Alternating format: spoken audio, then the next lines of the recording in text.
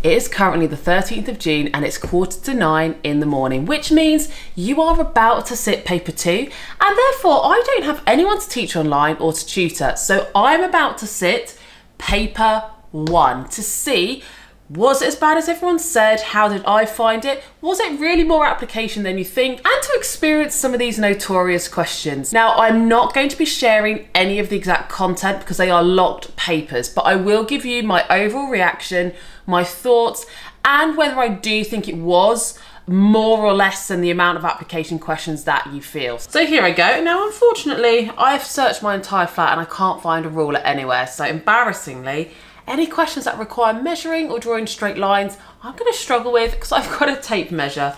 But let's see how we do. Two hours, off I go.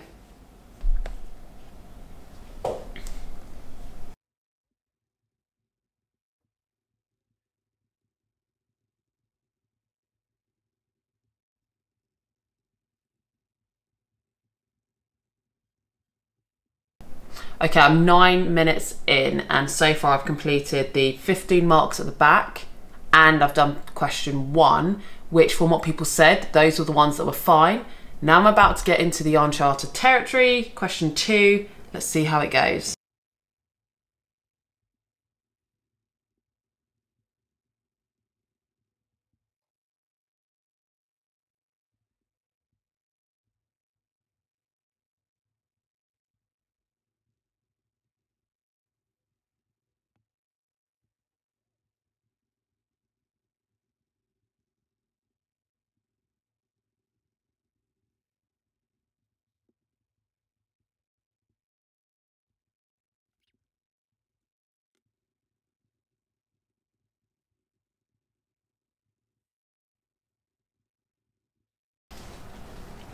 Okay, just a quick update. First of all, it's boiling hot in here, so I completely sympathise what it must be like in a boiling hot exam room. Secondly, I've only got question nine left to do, and I'm an hour and five minutes in. So one more question to do. Whew. Let's hope I don't pass out from the heat. Let's go. Actually, I better have a drink.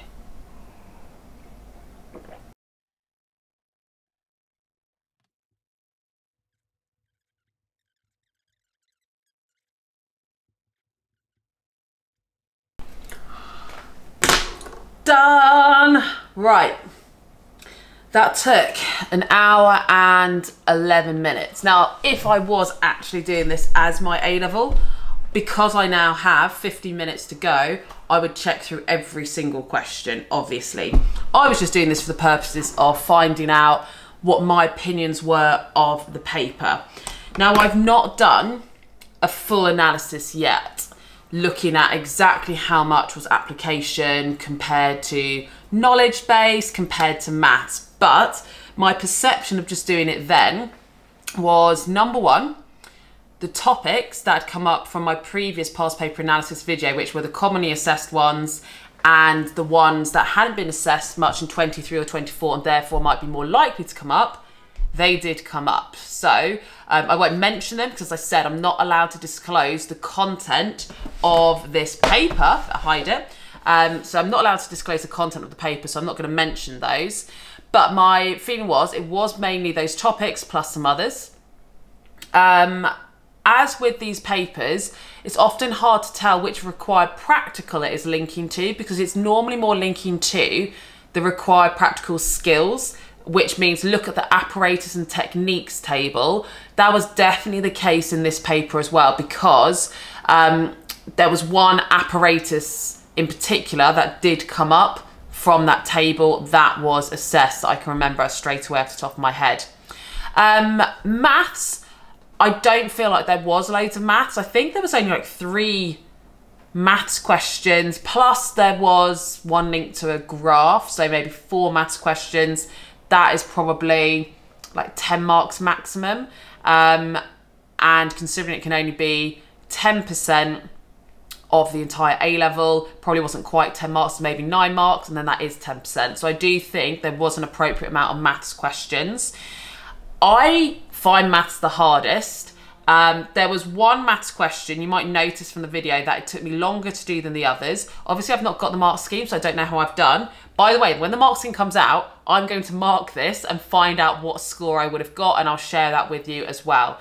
So for me, someone that finds the maths hard, I do think there was an appropriate amount of maths, and I didn't think there were any maths questions that blew my mind being ridiculously hard, but there were some that were more challenging than others. The start of the paper, there was a lot of AO1, but many people came out of this paper saying they felt that there was far more than the 34% application. Now, I've not actually added this up to calculate it, but I think the reason people feel that way is the questions at the end, if you ignore the extended response, so questions like 7, 8, and 9, those are always the ones that have the majority of the application questions, and the earlier ones are more AO1 based with some application in.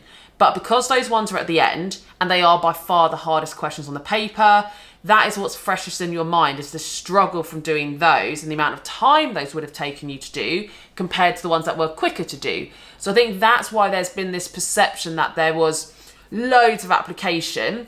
I don't think there was more than usual. So it was the typical amount of application. It just feels like there was way more because it's towards the end and they were quite obscure examples. Now, there was one question, again, I'm not allowed to refer to the content. There was one question in this where a lot of you said, that's a paper two topic. Why was that on the paper one? And I do know exactly the question you mean. The reason that it felt like that is because they're using paper two terminology, but the answer was nothing to do with what you learn in paper two. The answer was actually linked to what you learn in topic two from paper one. So it was still paper one content, they just applied it to a paper two topic, which made it confusing. Potentially unnecessarily confusing, that's not really for me to judge, but I guess the reason they're doing it is to try and test your knowledge more holistically to see how things link together. But I do fully see why that would have thrown people, especially when you're in an exam with the nerves. So that one was potentially a bit harsh, but it was still paper one content. Um, so that's my general first overview of the paper. Like I said, I've not done a full data analysis on it. I've literally just sat the paper. Those were my thoughts. There we go. Hopefully paper two went okay. You're about to finish paper two in an hour. I'm sure I'll hear from you all then. Oh, right, I'm gonna go have a drink and cool down now, everyone. Bye.